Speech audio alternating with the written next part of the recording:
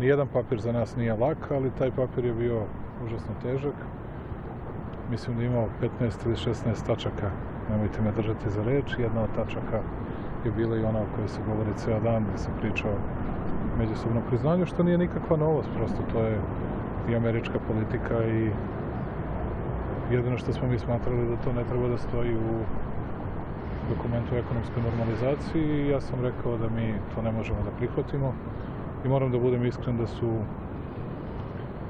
ljudi iz Trumpovog kabineta bili fair, saslušali to što smo imali da kažemo i a, mislim da u daljem u daljem dokumentima, sad već drugi, treći i tako dalje, te odredbe više nema. Nema te vrste bojazni da, da potpišem bilo kakav dokument u kojem postoji priznanje nezavisnosti Kosova. Tačka.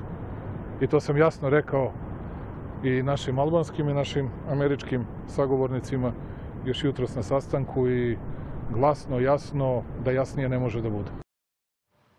Kosovo kamen oko vrata cele države ili teret samo jednog čoveka? Kakav se utisak stiče nakon jučerašnjeg sastanka u Vašingtonu i u kojoj poziciji se sada nalazi Beograd u pregovorima sa Prištinom? Da li će konačna odluka pasti na tlu Sjedinjenih američkih država i kada? Reč ovoga jutra dajemo srpskoj političarki sa Kosova, Radi Trajković. Dobro jutro, hvala vam što ste došli. Pa evo, da prokomentarišemo ovu izjavu predsjednika Srbije, dakle, buran dan u Vašingtonu. Prvo smo dobili informaciju da u dokumentu koji je ponuđen ta deseta sporna tačka e, nosi obavezno priznanje Kosova, da bismo nekoliko minuta kasnije na Twitter nalogu predsjednika rekli da je ta tačka iz dokumenta e, povučena. Šta sad znamo o tome šta je juče bilo u toj sobi gde se diskutovalo između Beograda i Prištine? Sve je bilo u okvirima dogovorenog. E, suviše je Amerika velika zemlja vele sila, da bi sebi dozvolila taj luksus da e, gospodin Vučić i gospodin Hoti dođu u Washington i da bude nekih e, neplaniranih e, e i nedogovorenih e, izletanja. Tako da sam odlazak e, na put gospodina Vučića bio je vrlo, ja bih kazala, propraćen na jedan Pa ja bih kazala neobičajan i vašarski način. Prvo ispraćaj koji je, gde su ljudi stajali navodno pored... Na Topčidarskoj zvezdi, o tome smo mi izveštavali. Da ga pozdrave, niko nije nosio transparent Kosovo je Srbija. Juče u toku dana je vlada Srbije dala podršku. A znamo da sve što se dešava do posljednjeg detalja je dogovoreno. I ono je u funkciji promovisanja Trumpove e, predizborne kampanje. Gospodin Trump juče celoga dana gotovo Twitterima, on je imao svoj rat sa demokratama. Recimo, meni je bilo vrlo interesantno u vreme, gotovo kada je e, gospodin Mali izlazio i onako toboši govorio uzbuđeno kako neko je ponudio tu neku, neko priznavanje nezavisnosti. On je pustao tweet da je Nancy Pelosi, eh, jedna od liderka demokratske stranke, bila kod frizera bez maske. I oko toga eh, je pravio kampanju u smislu poštovanja ili nepoštovanja eh, mera koje oni e, promovišu u smislu borbe protiv COVID-a. Tako da ja očekujem da će danas da se pojave sa Trumpom i gospodin Vučić i gospodin Hoti, da će potpisati dokument koji će otprilike imati nekih tri tačke. Prva će se odnositi na ono što gospodin Grenell vrlo uspešno radio, je, a to je potpisivanja još u Berlinu onih sporazuma oko vazdušnog e, železničkog saobraćaja i ostale infrastrukture. Drugi deo bit će o e, velikim ulaganjima Amerike u Kosovo i Srbiju. Juče je spomenjena cifra od 2 milijarde dolara. Da. A treća tačka ili treći deo, ja mislim da će da bude obavezivanje Srbije i Kosova, znači ne više e, Beograda i Prištine, da će e, međusobno vrlo blisko sarađivati i štititi manjine. Da li ta treća tačka znači to priznanje? To znači prepoznavanje e, ili početak prepoznavanja Kosova i Metohije kao države unutar države Srbije. To je to suštinski. I to prepoznavanje i dalja realizacija pravno obavezujućeg sporozuma, ono će se najverovatnije završavati u Briselu, gde imate, e, kada oni govore, Amerikanci su vrlo studiozni kada prave dokument. Kada kažu poštovanje prava manjina, oni to misle i na Srbe na Kosovu, na Albance na jugu centralne Srbije, ali dugoročno i na ostale manjine u Srbiji. To znači i na Rašku, a to može da znači i na Vojvodinu ili Mađare. E, e sada, vi kažete, očekujete da će danas biti tog sastanka e, sa Trumpom, a e, krajem augusta, 29. augusta, predsjednik Srbije je rekao, on je najavio da srpskoj javnosti da postoji ta jedna sporna tačka tog nekog dokumenta, jedna tačka na agendi, pregovore neprihvatljiva i da će to biti razlog da on odbije sastanak sa Trumpom. Da li e, vam to deluje kao realan scenarij ukoliko je to ta tačka koju smo... Sve je dogovorano da on bude sa Trumpom. Trump i američka ova administracija imala je jedan incident, ja bih kazala i fijasko. Jer znate kada je Tači pošao za Washington i kada je morao da se vrati, i to je bilo zaista da se vrati kao sumničeni za e, ratni zločin i to tako bizaran zločin kao što je trgovina organima i ne znam šta. To je bila kompromitacija e, na jedan način za Trumpovu administraciju. Trumpova administracija ne želi da dozvoli drugu kompromitaciju u smislu da se vrate ovi pregovarači da kaže mi smo postigli priznanje od Srbije ono, i de facto i de jure. Jer bi to izazvalo najverovatnije destabilizaciju pa, pa ja mislim u Srbiji bi bili protesti da narod bi se na jedan način mobiliso da izađe na ulice. Neće oni veliku destabilizaciju i velike probleme, nego su provukli projekat koji najavljuje početak prepoznavanja i dalje nadgradnje nezavisnosti Kosova koja sigurno ide u tom pravcu. A kada kažete e, sve je e, dogovoreno, da li e, i sve ono što smo juče tokom večera imali prilike da vidimo? Prvo izlazak ministra financija Siniša Malog koji je, tako kako vi kažete, onako uznemireno izgovorio da je pred Srbiju stavljeno nešto što je neprihvatljivo, pa izlazak predsjednika koji je rekao da postoji tačka, pa Richard Grenell koji u tom trenutku promptno reaguje na svom Twitter nalogu i kaže da je to laž u trenutku kada pretpostavljamo da je na nekom sastanku sastanku? Da li je to sinhronizovana akcija svih strana? Jer kod nas će se uglavnom čuti vlast je to pripremila, ne bi li ovde e, javnost pripremila za to što će se desiti u Vašingtonu. Da li su i ostali učesnici razgovora u zajednosti? Ja mislim da je sve bila režija. Da, potpuna režija za ono, za srpsko javno mnjenje. Za albansku ne.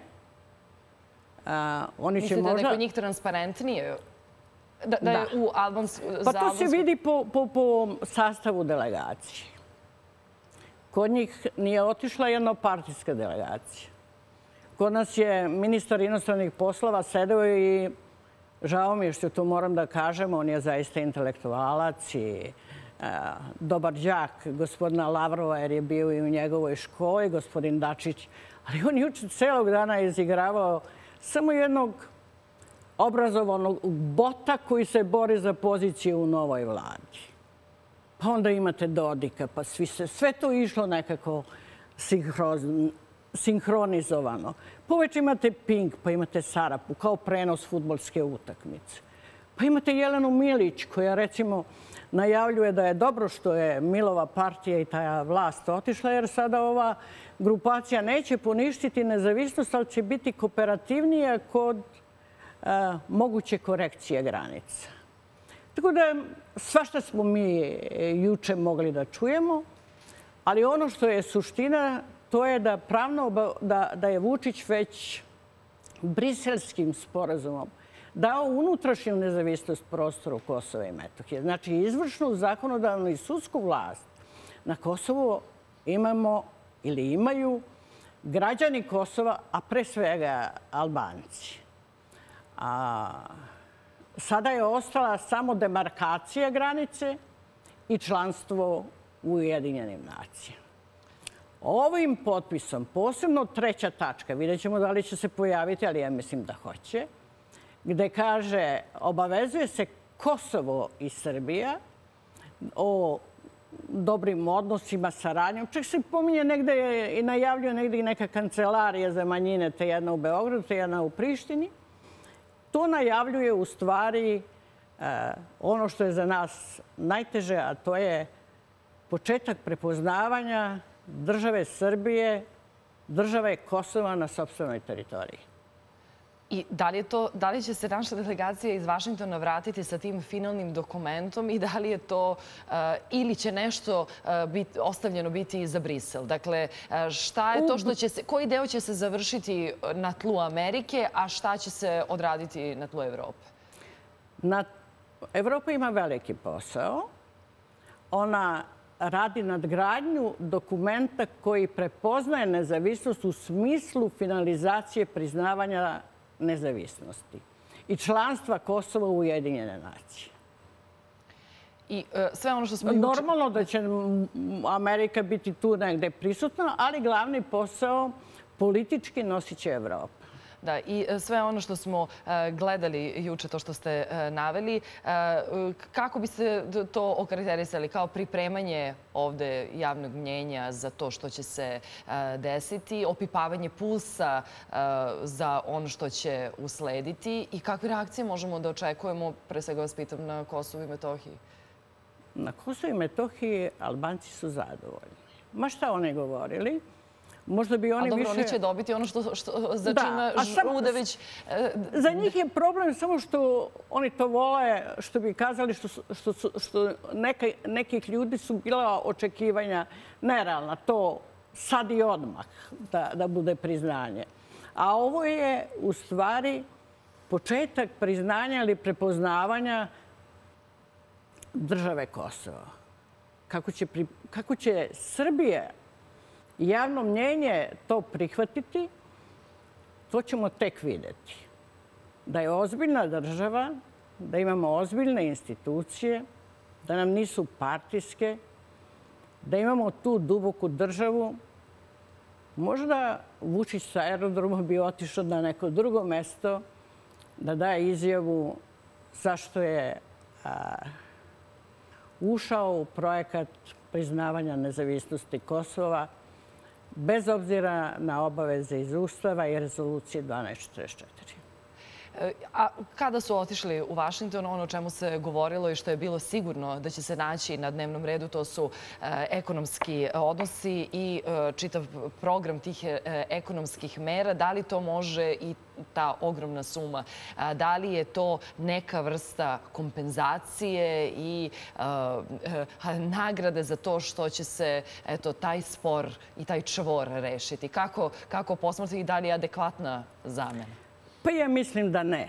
E, pre svega zato što je Rumunija članica NATO-a i vrlo blisko sarađuje sa Amerikom. Evo sada se govori čak i da će neke raketne sisteme da prebace u Rumuniji.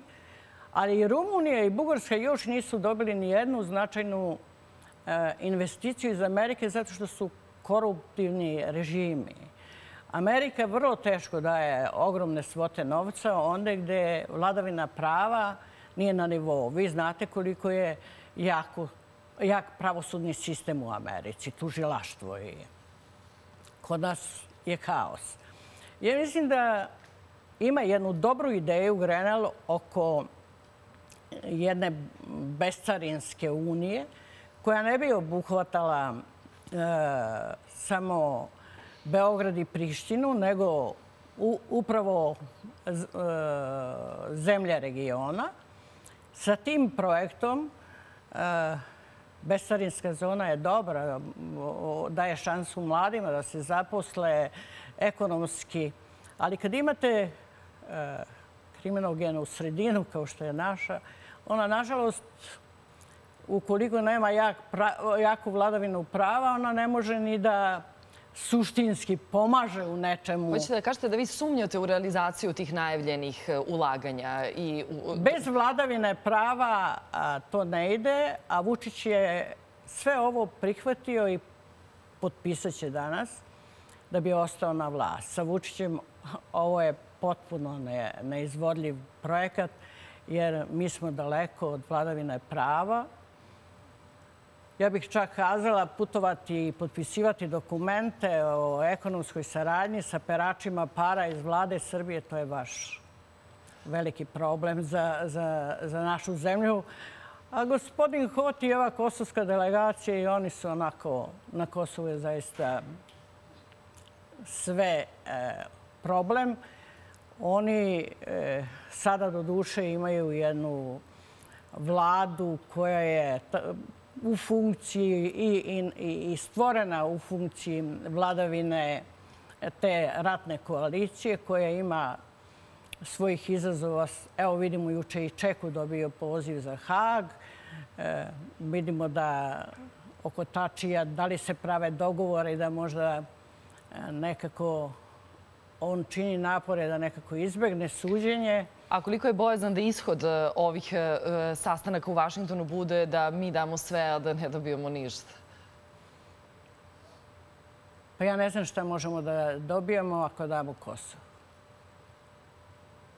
Hvala vam što ste bili gost e, ovog jutra o tome na koji način i da li će se ovo... Da, samo na kraju, dakle, očekujete da će danas Trump biti na tom sastanku i da se... Da. Da. E, pa, danas će predsjednik Vučić, znate, Pinki je video Tita, prvi čovjek video predsjednika. Da, hvala vam o tome kako to utiče na e, američku predizbornu kampanju. Razgovarat ćemo u toku emisije Probudi se. Rada Trajković je bila gost naše emisije.